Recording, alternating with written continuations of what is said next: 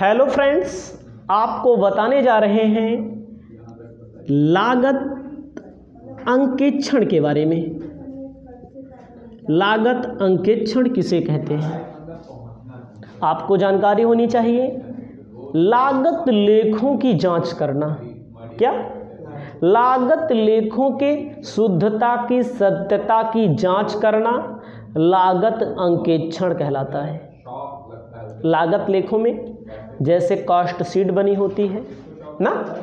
उसमें जो शुद्धता है, जो सत्यता है, उसके जो नियम व सिद्धांत के से लिखा गया है कि नहीं, इसकी जाँच करना लागत अंकेक्षण कहलाता है।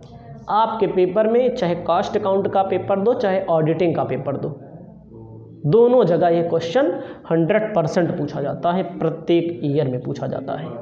अपनी कॉपी में लिख लीजिएगा।